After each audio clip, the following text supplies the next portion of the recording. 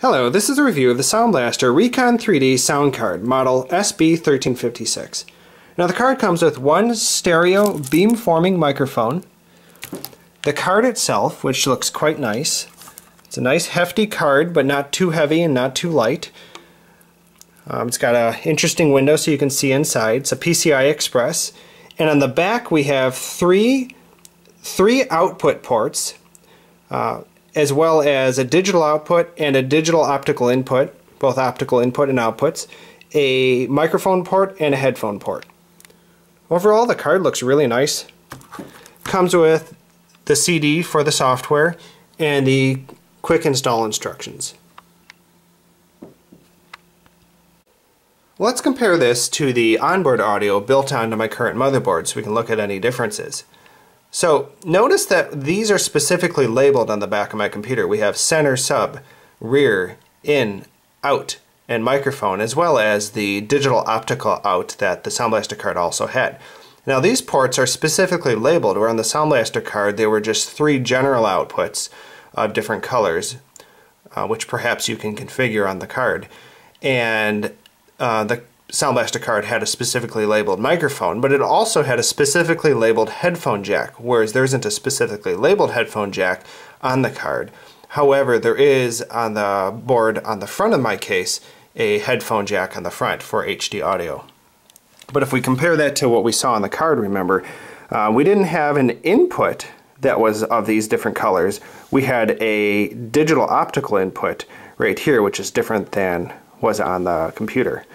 Now on my existing computer I had two additional ports on the front of the computer. This is my microphone port and a headphone port. So if I was looking for one specifically labeled headphones that I didn't find on the back of the computer, you know, this makes sense, right? You, if you're plugging in headphones, you're more likely to be plugging directly into the front of your computer than running around and plugging them into the back if it's not a laptop. Now these are actually connected by a cable called an HD audio cable that will run down all around the side of the computer, come around and connect into the motherboard onto the, the onboard port down here. Now if I want to be able to use those head, the headphone jack on the front of the computer on the particular card, rather than running around plugging it in directly into the back of the, the headphone port here, um, what I'll want to do instead is you see there's an extra connector here. So basically, if you look at it, see the HDA? This basically means that it's the HD audio port. So I'll be able to take that same cable and connect it onto the card right there um, so that I can run all of the sound through this card instead of the onboard audio. Now to install the sound card, you're going to want to find an available PCI Express socket that would match the card that you see here. And inside my computer, we see that I have two of them. Here's one PCI Express socket, and here's another PCI Express socket. So if all things are equal, well then choose one that's either more free, so I don't want to get it in the way of my uh, fan power for my rear fan, so I'm going to choose this port down here, and it also keeps it away from high heat sources like my processor if I were to mount it right below the processor. So I want to keep things more airy in my case, so I'm going to choose this connection, and all you do is take off the, the slot for the matching uh, back panel. Okay, now I have it installed. I just removed one of these from the side um, plugged it on into a PCI Express port that you see down there. Uh, it went in really easily. I didn't have to apply much pressure at all. Oh, that's probably partly my motherboard um, letting it in. And then you just basically put the screw back in place where you have it plugged in. It was really easy to, to pop in. And then you can see that the jacks line up on the back panel so that we had seen before outside the computer. So now with the computer turned on, let's get a look at the card while the computer's running. So there's a red LED light from this card. So that this is the card in the middle here. And you can see the red light emanating from the card, so just be aware that it's going to light your case red. Um, in my particular case, there's a whole lot of other things going on, so it matches the style. You know, things going on the motherboard, you know, my fans are red and so on. So it's a good color match with what's going on in the system. And now the results. Now I was really impressed with from the time I turned the computer on with the sound card installed for the first time that sound was already cranking even without installing the drivers for that and it sounded transformed and better. The MP3s that I purchased from Amazon sounded more lifelike, the band sound, the instruments sounded to surround me more.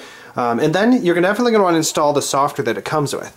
And now, after I installed the software for the first time, it actually sounded significantly worse than the onboard audio. And it sounded great before I ran the install. And the reason is, you'll have to go to the speakers and headphones menu and tell it that what your speaker setup is. So by default, it defaults to 5.1 surround sound, but I have stereo speakers. And so once I set it back to stereo speakers, it sounded great again. So just be aware of that. And the tools give you a lot of customizations. So um, they give you a little, you can play a THX surround sound test. And you get a lot of choices. So you see how it has a crystallizer and a slider for it. This, this is what makes the voices and instruments really come out more crisp. Surround sound makes it sound more surround sound, but has a less effect on stereo speakers. Um, and you can turn on extra bass. Um, I prefer not to. And you have all sorts of other great things like Smart Sound and Dialog Plus helps dialogue come out more clearly. Um, it gives you a whole lot of other things. You have equalizers so you can pick between different modes. So by default it's flat, but you get a whole pull down of equalizers to pick from. Um, and they give you different sounds. Um, I thought that was really customizable and is nice. Here's something really cool I thought was under Crystal Voice is where the microphone setup is set. Now, the microphone, you're going to want to probably crank the volume. By default, it sounds like it couldn't even hear me. So I cranked it all the way up, and then you take, then there's a mic boost setting.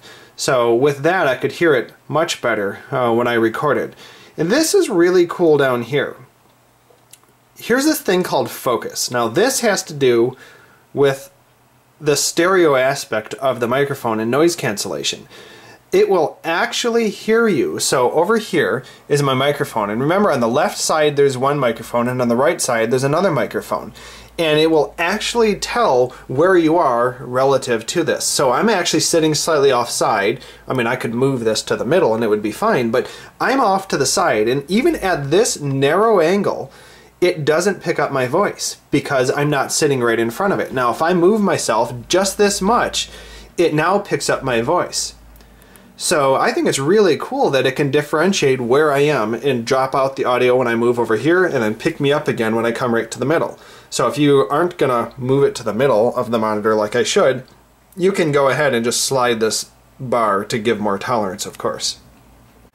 And one other thing is that the power consumed by this card was much less than I expected. It only took 1.4 watts of extra power to have this card installed in the computer.